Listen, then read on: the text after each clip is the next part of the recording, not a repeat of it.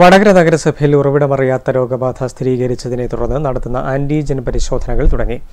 രോഗബാധിതരുമായി ഇരു മാർക്കറ്റുകളിലൂടെയും സമ്പർക്കത്തിലുള്ളവരുടെ പരിശോധനകളാണ് രാവിലെ മുതൽ തുടങ്ങിയത്. വടകരയിൽ കഴിഞ്ഞ ദിവസം നാലു പേർക്കാണ് രോഗം ബാധിച്ചത്. വടകര കൊപ്ര ബസാറിലെ കൊപ്ര വ്യാപാരി മകൻ എന്നിവർക്കും പച്ചക്കറിക്കടയിലെ തൊഴിലാളിക്കും ഭാര്യയ്ക്കുമാണ് രോഗം സ്ഥിരീകരിച്ചത്. ഇവരുമായി പ്രാഥമിക സമ്പർക്കത്തിലുള്ളവരുടെ പട്ടിക തയ്യാറാക്കിയിട്ടുണ്ട്. ഇവരിൽ ഇരുന്നൂറ്റി അമ്പതോളം പേരുടെ പരിശോധനകളാണ് നടക്കുന്നത്. രോഗം സ്ഥിരീകരിച്ച മേഖലകൾ കണ്ടെയ്ൻമെന്റ് സോണാക്കിയിട്ടുണ്ട് പഴയ ബസ് സ്റ്റാൻഡ് അടക്കുകയും ചെയ്തു. പച്ചക്കറി കൊപ്ര മാർക്കറ്റുകൾ ഇനിയൊരു ഉത്തരവ് വരെ പ്രവർത്തിക്കില്ല. ജില്ലാ ആശുപത്രിയിൽ നിന്നെത്തിയ സംഘവും നഗരസഭാ ആരോഗ്യ വിഭാഗവും പരിശോധനകൾക്ക് നേതൃത്വം നൽകി. വരും ദിവസങ്ങളിൽ കൂടുതൽ പരിശോധനകൾ നടക്കും. നഗരസഭാ പ്രദേശത്ത് കടുത്ത നിയന്ത്രണങ്ങൾ കൂടുതലായി ഏർപ്പെടുത്തുമെന്ന് പോലീസ് അധികൃതർ അറിയിച്ചിട്ടുണ്ട്.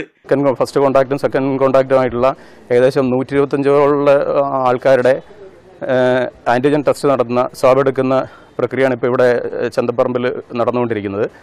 അതുകൂടാതെ നമ്മുടെ കൊപ്രക്കളത്തുള്ള ആ കേസുമായിട്ട് ബന്ധപ്പെട്ടിട്ട് ഏകദേശം നൂറ്റി ഇരുപത്തഞ്ചോളം ആൾക്കാരെ അവരുടെ താമസിക്കുന്ന ക്വാർട്ടേഴ്സുമായിട്ട് ബന്ധപ്പെട്ടതും അതുകൂടാതെ ജോലി സ്ഥലമായിട്ട് ബന്ധപ്പെട്ടതും അത്തരത്തിലുള്ള ഫസ്റ്റ് കോൺടാക്റ്റുകളും സെക്കൻഡ് കോൺടാക്റ്റുകളും സ്വാബ് എടുക്കുന്ന പരിപാടിയാണ് നടക്കുന്നത്. വടകര ഇപ്പോൾ ഇപ്പോൾ ഞങ്ങൾ ഈ പറഞ്ഞ കോൺടാക്റ്റുകൾ മുഴുവൻ ഞങ്ങൾ ട്രേസ് ചെയ്ത് കഴിഞ്ഞു.